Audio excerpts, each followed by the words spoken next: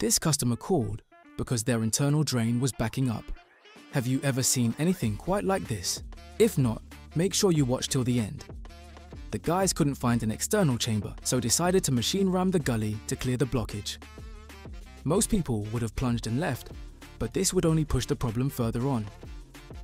You might be asking yourself, what is a gully? A gully is a form of trap that prevents pests and smells coming back up from the sewer, as it always has a water line in the U-bend.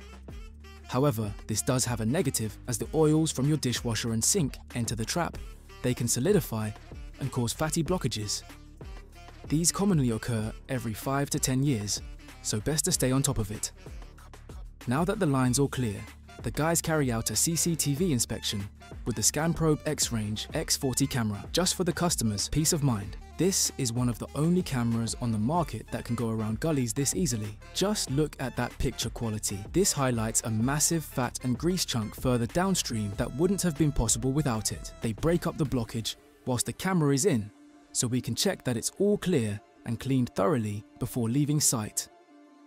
Now just turn on the water to flush it all through and we can now see there's a massive open joint.